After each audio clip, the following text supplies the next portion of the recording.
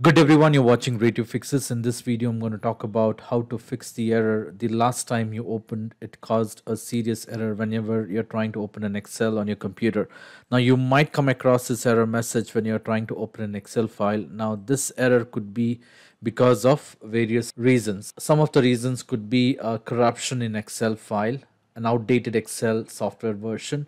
It could be due to corrupted or faulty add-ins or the program to quit unexpectedly or it could be an issue related to the corrupted office suites now there are a couple of steps which you could try to get this issue resolved. Now the first and foremost step which you could try to get this issue resolved is uh, reboot your computer. Now reboot restarting your computer can indeed be useful solution for a various problem including ms excel serious error. When you restart your computer it clears the system's memory and may solve the temporary malfunction that could be triggering this error. Once you restart your computer you can try to open the excel file and see if the issue has been resolved. Now in spite of trying this issue and if you're still facing a problem, the next step, what I would suggest you to do is I would suggest you to go ahead and disable Office or Excel add-ins. How do you do it? You will have to open Excel, blank new Excel or a blank document. Once you have Excel open on your computer, you will have to click on File at the top left corner of your Excel window and then click on Options. Once you click on Options, you may go ahead and click on Add-ins. Once you're on the add-ins you will have to on the right hand side you will have to look for manage. From the list you will have to select com add-ins and then click on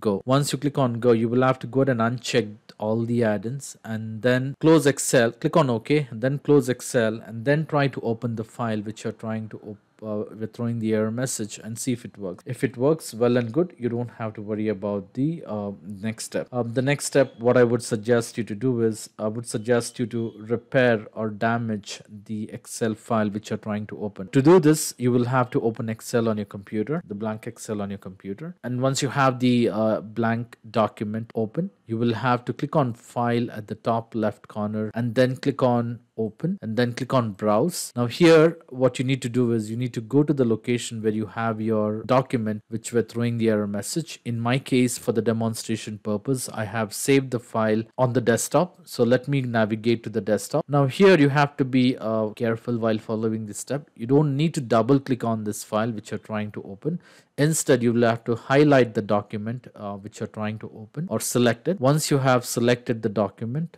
a troubled document, then on the right hand side of the pop-up window, you will have to click on the drop down under open and then use the option which says open and repair. So with this, you will get a message saying that Excel can perform checks while opening this. You may go and click on repair. With this, what the Excel will try to do is your Excel will try to fix if there are any issues related to the uh, document in case if you are able to open the document with this well and good. All you need to do as a next step is you will have to try to save this document uh, with a different file name on a different location and that should do. Now once this has been uh, open you don't have in case if you're able to open the document you don't have to try the next step. Now in spite of trying all this step and if you're still seeing this error message the next step what i would suggest you to do is i would suggest you to go and repair your office now to repair your office, what you can do is um, you can press Windows and R simultaneously on your keyboard or else you can do a right click on the start button and click on run to open the run window. In the run window, you will have to go ahead and type the command appwiz.cpl. So this is the command which will open the programs and features window. Click on OK. This will display the list of softwares which are currently installed on your computer. Once you have this list to locate, you will have to go ahead and locate your Microsoft Office. In my case, case I'm using Office 365 uh, in yours it could be a different. It could be either office 2010 or 2019 or it could be any other version. All you need to do is you need to highlight the office and then click on change. In case if you get a user access control prompt you may click on yes or continue on the screen. And the next window what uh, you would see is an option to repair your office. In case if you're using office 365 you will see two options quick repair and online repair. If it is office 365 i strongly recommend to go ahead with the online repair and then click on repair. In case if you are using other version you may go ahead and choose the repair. So with that what it will do is online it would try to fix the corrupted files. It will down, down re-download the corrupted files and uh, try to fix those and uh, that should fix the problem. Once the repair is complete uh, you may go ahead and restart your computer. Once you restart your computer try to open excel and try to open the file which you're having trouble with and see if it works. If it works well and good. You don't have to try the next step. As an uh, as the last step uh, what i would suggest you is um, to update your office to do this you can open excel